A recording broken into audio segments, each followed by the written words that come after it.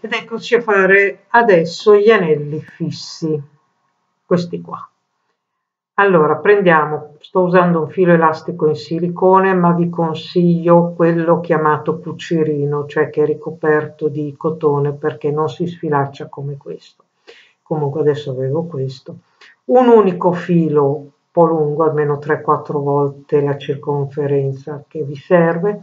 Alle due estremità due aghi si infilerà la perlina, la prima perlina che in questo caso è color oro, all'inizio del nostro cerchio a metà del nostro filo. Poi ci saranno le perline laterali, che in questo caso sono argento, due per lato, e poi si chiuderà il nostro cerchio ancora con la perlina oro.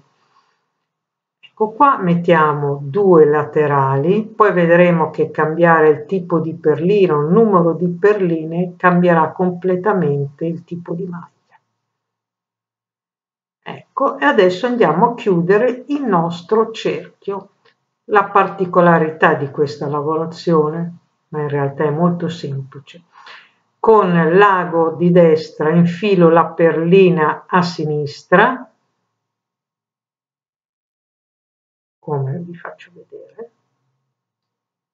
E adesso, una volta che ho infilato sul filo, con l'ago di sinistra infilo nel senso opposto la perlina verso destra, così. Tiro il tutto e vedete che magicamente si forma da solo l'anellino. Ta-da! Come vedete è semplicissima la cosa. Ora continuiamo, due laterali color argento da una parte, due laterali color argento dall'altra e andiamo a chiudere ancora col nostro anellino dorato. Adesso parto da sinistra verso destra per farvi vedere che è indifferente da che parte si inizia a infilare. L'importante è che i due fili si devono inserire in senso opposto all'interno della perlina di chiusura. Tiro ed ecco il secondo anellino. Vedete? Molto semplice d'effetto. Ora farò un anellino quindi continuerò fino alla misura che mi serve poi vi faccio vedere come si chiude l'ultimo eccoci qua adesso devo fare l'ultima l'ultimo anello faccio due perline argento da una parte due perline argento dall'altra però non chiudo l'anello inserendo un altro un'altra perlina d'oro, ma vado a prendere la prima perlina della fila che ho inserito, così che si chiude su se stesso. Come faccio a chiuderlo? L'ago che ho a sinistra infilo, l'ago che ho a destra, iniziamo da destra, lo infilo nella perlina d'oro verso sinistra, solo la perlina d'oro, mi raccomando, così, e l'ago che ho sinistra infilo solo la perlina destra, solo la perlina d'oro verso destra. Tiro e magicamente il tutto si richiude su se stesso. Ora ci sono da fare due nodini, per non farli tutti e due dalla stessa parte e poi devo incastrarli sotto la stessa perlina che è piccola, risalgo su adesso sono venuta da quel lato oh, di là, quindi risalgo su di una perlina, sono venuta dal di lì, risalgo su ancora di una perlina con l'ago e faccio il nodino un po' più in là così che vado a nascondere poi dopo sotto quest'altra perlina il mio nodino. Solito sistema, un anello, due concentrici, un nodo, cioè due concentrici e poi il terzo a chiusura e si nasconde il tutto sotto la perlina.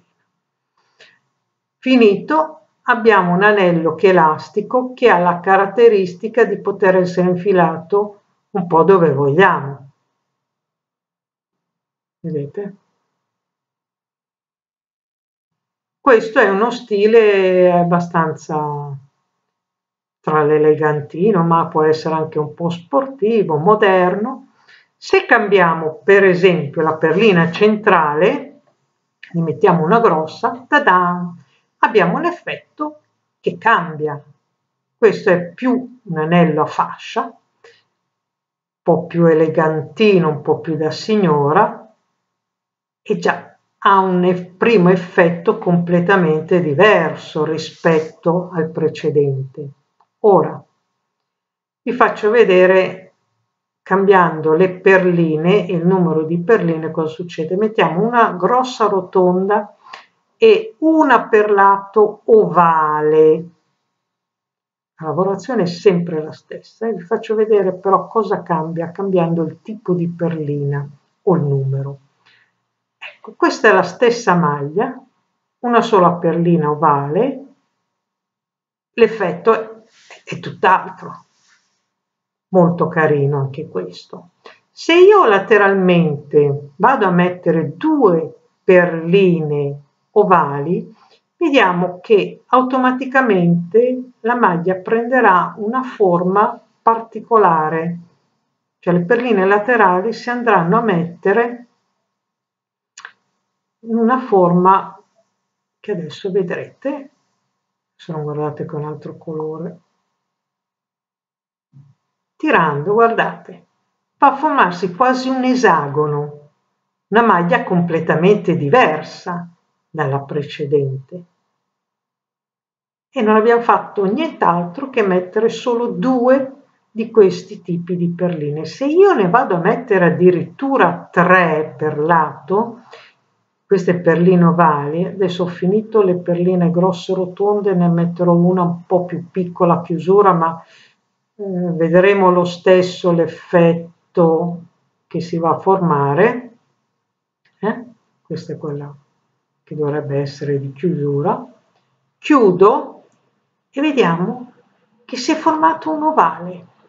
Guardate come cambiano posizione in maniera abbastanza differente. Ecco. Niente a che vedere, sembra tutto un altro tipo di lavorazione rispetto a queste. Invece la lavorazione è, è proprio la stessa, completamente la stessa. Mm? Se poi cambiamo colore, le perline, guardate, che effetti carini. E adesso guardiamo quattro tutte uguali, come queste, a palline rosa. Sembra ancora tutto un altro tipo di lavorazione, è sempre la stessa. Abbiamo messo una sola laterale uguale a quella sopra e a quella sotto, cioè la prima e l'ultima. Ora guardate quest'altra lavorazione, è la stessa, però non vado a mettere nulla lateralmente, cioè uso questi cilindretti, ho inserito il primo in mezzo al mio filo e poi tutti successivamente vengono infilati direttamente così destra sinistra sinistra destra. Si tira. Adesso qui ho fatto il filo doppio perché volevo che fosse molto più resistente. Altro cilindretto direttamente destra sinistra sinistra destra quindi ho tolto le perline laterali. Adesso voglio fare un braccialetto quindi dovrò mettere un bel po di perline in più. Eccolo qui. Adesso continuerò lo sto finendo ma guardate che effetto. Lo trovo veramente interessante, veramente carino. Eccolo finito, poi qui c'è qualche altro esempio da vedere, come braccialetti, come anelli, potete proprio sbizzarrirlo.